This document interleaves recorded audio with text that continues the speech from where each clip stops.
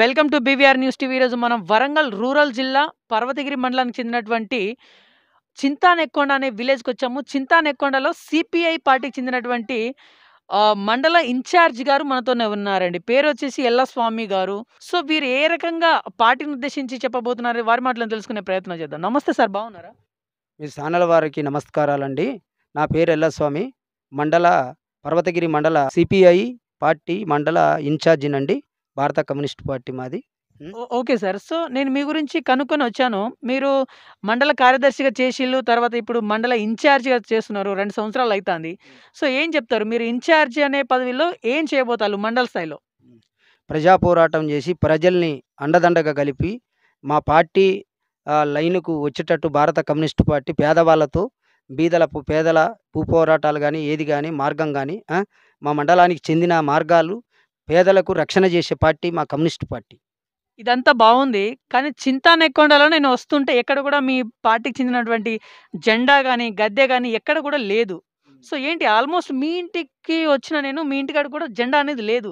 అంటే ఒక ఇన్‌చార్జి అనే స్థాయిలో ఉన్నటువంటి మీరు ఎందుకని ఈ దుస్థితి మీకు అంటే జెండా కూడా లేకుండా పరిస్థితి ఎందుకనొచ్చింది? ఇప్పుడు మొన్న ఇల్లు కట్టిన కాబట్టి జెండా పక్కకు పెట్టినా. ఇప్పుడు అంబేద్కర్ బొమ్మ వరంగల్ పోయే రూట్‌ల గద్దె కడతానా. ఆ! గద్దె త్వరలో అయిపోతుంది అన్నీ తయారైనవి అది ఇప్పుడు ఐదారు రోజులల్లో ఆ గద్దె తయారు చేస్తా. అది ఒకటి మళ్ళీ తయారైనాక అటు వరంగల్ పోయి కట్టకెళ్ళి అక్కడ ఒక గద్దె చిన్నది తయారు చేస్తా. ఇది సెంటర్‌లో ఒక గద్దె తయారు చేస్తా. దాని పార్టీ సిద్ధాంతములు అనేది ముందుకు తెచ్చే మార్గం భారత కమ్యూనిస్ట్ పార్టీ ముందుకు రావాలి. నా కోరిక. Okay sir. ఇదంతా బాగుంది చింతానేకొండలో సిపిఐ పార్టీకి చెందినటువంటి వ్యక్తి మీరు ఒక్కరైనా ఇంకెవరైనా ఉన్నారా? ఒక 20 మందున్నారు. ఇక్కడ మా చింతానక్కొండల భారత కమ్యూనిస్ట్ పార్టీ సిపిఐలా వాళ్ళని ముందుకు తెచ్చే అవకాశాలు ఇంకా గద్దెలు కడితే మాకు అండదండగా మా జెండా కిందకి ఇంకా చాలామంది వచ్చే అవకాశాలున్నాయి. హ్మ్. దాన్ని నేను కం కంప్లీట్‌గా నేను ముందుకు తెచ్చే మార్గం నేను చేస్తా. నా పేరు ఎల్లస్వామి సిపిఐ. భారత కమ్యూనిస్ట్ పార్టీ అంటే నా ప్రాణం. వృత్తిరీత్యా మీరేం చేస్తుంటారు? నేను వాస్తు శాస్త్రినండి. ఇండ్ల వాస్తులు చూస్తా. Okay sir. So, last time జరిగిన సర్పంచ్ ఎలక్షన్‌లో మీ చెందినటు ఐ మీన్ మీ క్యాండిడేట్‌లు ఎవరు కూడా పోటీ చేయనటువంటి పరిస్థితి ఉంది. సో, రానున్న 2023లో ఏమైనా చేయబోతాల్లా? దాని గురించి ఎలా ఎక్స్‌ప్లెయిన్ చేయబోతున్నారు? 2 ఆర్డ్ నెంబర్‌లుగా నిలబెట్టే బాధ్యత నాది. గెలిపిచ్చే బాధ్యత నాది. నిలబెడతానన్న కూడా అవకాశాలు ఆలోచించినాం. కంపల్సరీగా వచ్చే ఎలక్షన్‌ల సర్పంచ్ ఎలక్షన్‌ల 2 ఆర్డ్ నెంబర్‌లు గెలిపించుకుంటాం. ఓకే. లాస్ట్ టైమ్ కాంగ్రెస్ పార్టీకి సపోర్ట్ చేసిల్లంట. ఎందుకని చేసిల్లు? అది మద్దతు ఇచ్చుడు వల్ల మా పార్టీ వాళ్ళు షేడ వెంకటరెడ్డి అయినా, రాష్ట్ర నాయకుడైనా మద్దతు ఇచ్చుడు వల్ల ఆ పార్టీకి మేము సిద్ధాంతంగా కట్టుబడి ఉన్నాం. మాకు ఐదు సీట్లు ఇస్తానని మూడో సీట్లు ఇచ్చిర్రు. మూడు ఇచ్చిర్రు. మూడు కూడా మాకు టర్నింగ్ కాలేదు.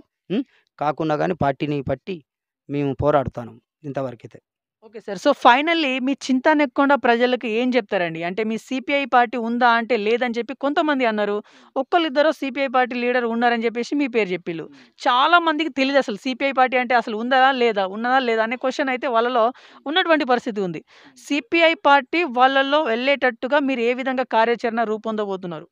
వాళ్ళందరినీ కూడబెట్టి వాళ్ళని జాయింట్ చేసి మా పార్టీని ముందుకు నడిపించి గద్దెలు కట్టి!